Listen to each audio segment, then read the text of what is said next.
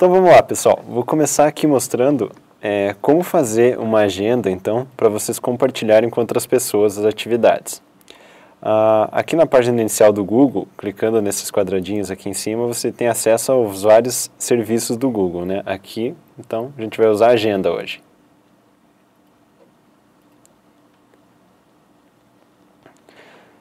Bom, essa é a agenda aqui do nosso setor de vídeos. É, eu vou criar então essa nova, aqui por exemplo, né, as agendas que nós, aqui eu posso ter minhas agendas pessoais, e aqui eu vou criar uma nova agenda para a gente compartilhar com outras pessoas. Clicando nesse mais aqui, nova agenda. Por exemplo, vamos criar o nome Agendamento Polo Web Conferências.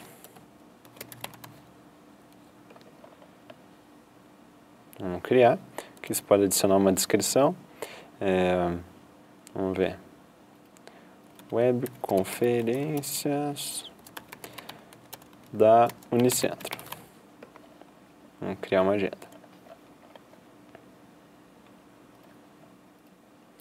Aqui embaixo, quando você cria, ele já aparece esse, esse balãozinho aqui que você pode criar em configurar, é clicar em configurar, né? Para ir para as configurações dela, dessa agenda e você colocar para compartilhar com outras pessoas. Mas eu vou clicar aqui para voltar para a página inicial para vocês terem uma ideia de, de como é que faz. Ó, aqui do lado, então, já apareceu essa agenda que eu acabei de criar, né? Agenda Polo Web Conferência, que estão junto com as outras agendas que eu já tinha. Indo aqui do, no, em cima do nome dela com o mouse, nessas três bolinhas, você pode acessar as configurações dela. E é aqui que você tem que mudar a configuração para ela aparecer para outras pessoas. E aqui você pode adicionar outras pessoas para que elas vejam a tua agenda. Nessa parte que é de baixo, compartilhamento com pessoas específicas. É aqui que você vai adicionar todos os nomes que você quiser que tenha acesso a essa agenda. Eu vou colocar aqui o meu e-mail pessoal para vocês, para a gente fazer um teste aqui, vocês verem como é que funciona. Então aqui, ó, adicionei meu nome, Júlio Stan 23, pronto, vamos lá, enviar. Então tá, agora é, vou voltar aqui para a página inicial e eu vou criar um, um evento aqui no dia, vamos colocar dia 25 de novembro aqui. Eu vou criar um evento de, dessa, dessa agenda que eu acabei de criar né? Aqui. É, web conferência Unicentro.